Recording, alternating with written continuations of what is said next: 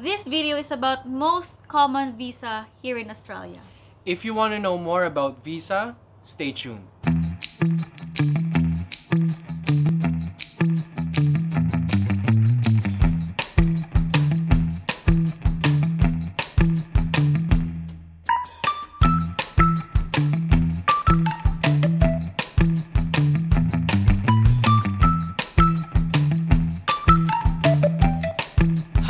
Guys, welcome to our vlog. This is Danica. And this is Chris. So if you like this video, give this video a big thumbs up. If you have any questions or suggestions, just leave a comment down below. And if you enjoy our videos, consider subscribing. And don't forget to hit the notification bell to get updated whenever we release a new video. Our topic for today is about visa. Ano nga ba ang visa?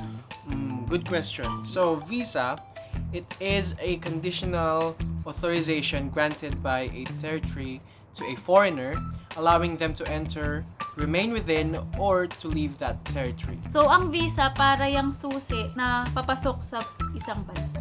Mm, totoo yun. Yung isang araw may narinig ako na visa free. Ano nga ba yung visa free? So, kapag visa-free, it refers to the ability to travel to a foreign country without the need for a travel visa.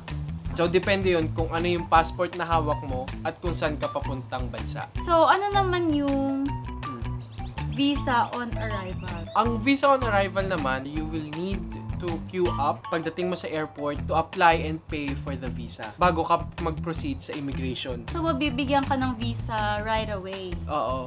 Okay. So ano naman yung e-visa? Ah, ang e-visa naman, e-visa is a short term for electronic visa. So it is an official document which is issued by the immigration department to allow international passengers to enter and travel across a nation. So ito yung, yung sa atin, di ba nag-apply tayo for student visa? Yeah. E-visa yung tawag doon. Eto, may tanong ako sa'yo. Ano? Ano naman ang pinagkaiba ng onshore tsaka offshore? Magandang tanong yan. So, yung onshore application, ito yung lodge ka ng application mo na nandun ka sa mismong country na pinag-a-applyan mo. Mm, so, ibig sabihin, kapag nag... Halimbawa, nandito na ako sa Australia, tapos nag-lodge ako ng visa application na nandito ako, onshore ang tawag Onshore doon. ang tawag Okay. doon. Pag offshore naman, syempre wala ka dun sa bansa na pinag-a-applyan mo. Mm, Gaya na lang nung ginawa din namin, Mhm. nag-apply kami ng stu- student visa namin. Nasa Philippines kami. Mag-proceed na tayo sa most common visa here in Australia. actually, meron tourist visa tsaka student visa. So, doon muna tayo sa tourist visa. So, yung tourist visa, if you want to go to Australia to have a vacation or stay for a short season, Mhm. ito yung magandang visa para sa inyo. Mm, Tourist visa. pwede ba ditong makapag-stay ng mga 16 months? No. 12 months lang yung maximum na binibigay ng immigration. So, yung pag-apply naman ng visa na yon, it cost from 145 Australian dollars Oh. pataas. So, kung mag apply ako ng tourist visa, gaano katagal yung posibleng abutin? So, yung processing time naman, it takes more or less 34 days. um, magandang visa kung bibisita ka sa pamilya mo, sa friends mo, or kung gusto mo mag-cruise. For holiday, Mhm. ito yung visa na fit for you. Oo. So, may mga conditions to eh. Alam mo ba yung mga conditions? Pwede ba ako mag-work? No. Sa mga tourist visa, hindi po kayo allowed mag-work dito sa Australia. Eh kung gusto kong mag-aral dito sa Australia, pwede ba akong mag-aral habang naka-tourist visa ako? Yes, pwede. Pero, yun yung mga short courses. Ah, pero syempre, depende pa rin yun sa approval ni immigration kung papayagan ka. Kasi mas restricted yung tourist visa. So, bago ka makarating dito sa Australia, dapat meron kang insurance, health insurance. Pero hindi kailangan na health insurance para makapunta dito. Yun lang yung advisable. Kasi, based dun sa nakausap kong agent, Hmm. sa sobrang mahal ng mga ginagastos dito kapag wala kang insurance. Ano ba yung requirement? Narinig ko kailangan mo daw ng show money or yung bank statement. You should have enough money para Oh. masustain mo yung needs mo dito sa Australia. So, hindi lang pwedeng magpasa ka ng bank statement Kailangan may pera yon na magpapakita na kaya mo talagang or mamuhay dito ng for certain period of time. May specific amount ba? Wala.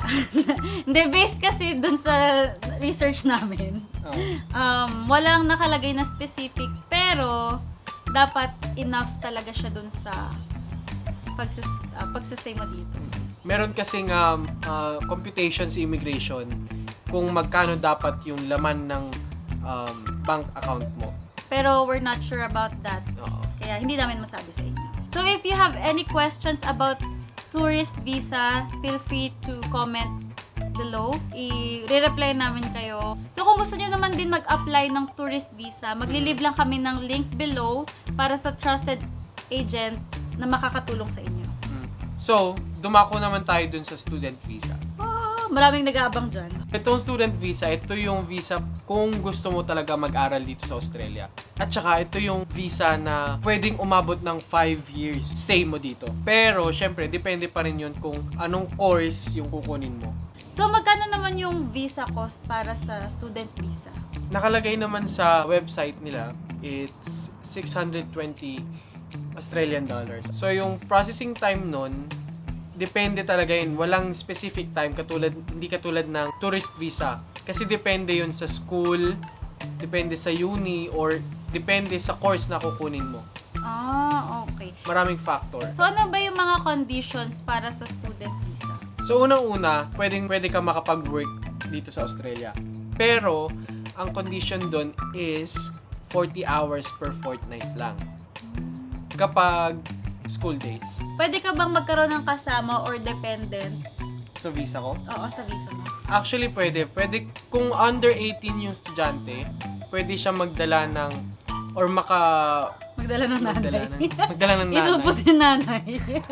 Ibagayin yung nanay niyo. Parang, pwede mo isama yung mother or father mo na magiging legal guardian mo dito. Hmm, allowed ba sila mag-work? Oo. Pero, dapat hindi sila mag-work before magsimula yung klase ng estudyante. So, dapat mag-work lang sila pagka-start ng klase. Ah. And under pa rin sila ng 40 hours per fortnight. Pero di na masama. Work. At least yung guardian merong work, tapos pwede pa mag-work yung student. Or, kung may asawa ka at saka mga anak, pwede mo rin silang i-under sa visa mo. Yun yung advantage ng student visa. So, kung halimbawa, ang yung asawa mo or ikaw mag-aaral ka ng masters, tapos um, may kasama kang asawa or partner mo, pwede silang mag-work more than 40 hours. Pero kung- Kapag masters or doctorate lang yung pinag-aaralan. Pagka diploma naman, 40 hours per fortnight. per fortnight. May limitation kapag ka diploma or bachelor. Oo. So, naintindihan mo ba yung conditions na 40 hours per fortnight? Yes. Bigyan kita ng isang tanong. Ah, Okay. So, sabihin natin na binigyan ka ng 75 hours to work sa isang linggo habang school break mo. Mabibreach mo ba yung condition sa student visa? Hindi. Bakit? Kasi school holidays naman yun. You are allowed to work unlimited kapag ka-holiday. Hmm, okay. Oh, sige, ako naman yung magbibigay ng example. Mhm. So, during school days, Mhm. binigyan ka ng employer mo or nung work mo ng 30 hours on week 1. Okay. So, And- pwede pa rin. So, pwede. On your second week, binigyan ka nila ng 10. Pwede pa rin yun kasi 40 hours yung dalawang week. So, pero halimbawa yung week 3 mo, binigyan ka nila ng 35. Hindi na pwede yun. Bakit? Eh kasi, yung kahit sa week 1, 40 hours ka, tapos sa week 2 and 3, 10 plus 35, 45. So, nag-exceed ka na sa 40 hours. Mm, okay. Yung 40 hours na sinasabi, hindi siya yung week 1 and 2, tapos week 3 and 4. Hindi ganun. So, week 1 and 2, tapos yung week 2 and 3, tapos week 3 and 4. Ah, okay. Ganun pala nag-work. Oo. So, pag binigyan kayo ng employer na ng higit-higit sa 40 hours per fortnight, Mhm. gawa niyo ng paraan or kausapin niyo yung manager niyo. Kasi minsan hindi nila chine-check yun. Oo. Minsan, syempre, nagkakamali din sila na may miscalculate nila na meron ka palang exceeding 40 hours. Yes. So, be responsible sa pag-check din sa hours niyo per week, per Oo. fortnight. So, ano pa ba yung ibang condition sa student visa? Yung isa pa sa condition is, kailangan mong ma-meet yung requirement ng course. halimbawa doon yung hindi ka pwedeng bumagsak. Hindi pwede mong ma-miss yung yung pagbabayad ng ng tuition fee. Oo. At hindi rin pwede na nag-enroll ka lang tapos hindi mo papasukan. So, kung nag-apply ka na dito ng, kung nag-apply ka ng student visa at nandito ka na, lubos-lubosin mo na yung pag-aaral ng mabuti. Huwag mong sayangin yung opportunity. Kasi may mga kakilala ko na hindi sila pumapasok, then wala na ano lang na wala din yung kanilang visa. Oo. So sayang naman, 'di ba? So nandito na tayo, sulitin na natin mag-aral na tayo mabuti. Oo, totoo yun. So, kasi may matututunan ka pa rin naman kahit na sabihin mong diploma or um, certificate lang yung pinag-aaralan mo ngayon. Kapag student visa ba, kailangan ng health insurance? Yes. Mahal yung mga medical fees dito. So, mas maganda na meron tayong health insurance. Oh, okay. Yes. So, kung ano, kahit ano man mangyari, Covered tayo. Oo. So, punta naman tayo sa requirements. Kailangan ba mag-provide ng bank statement para sa student visa? Hmm. Depende. Depende sa course, depende sa school, depende sa educational level. Kaya hindi mo rin masasabi kung kailangan ng bank statement. Okay. Kailangan ba ng IELTS or any English English proficiency test? Depende pa din. Ah, okay. So, Ah. lahat depende sa uni or sa um, course na kukunin mo. Yes. So, doon na nagtatapos ang ating usapan about visa. Mhm. Yun. So, kung may question kayo, i-comment nyo lang sa baba at sasagutin namin yun. At kung na-enjoy niyo yung video, please give this a If you enjoy our topic, consider subscribing. And don't forget to hit the notification bell so you get updates whenever we release a new video. So, So- hanggang sa muli, Paalam! Bye! See you on the next video.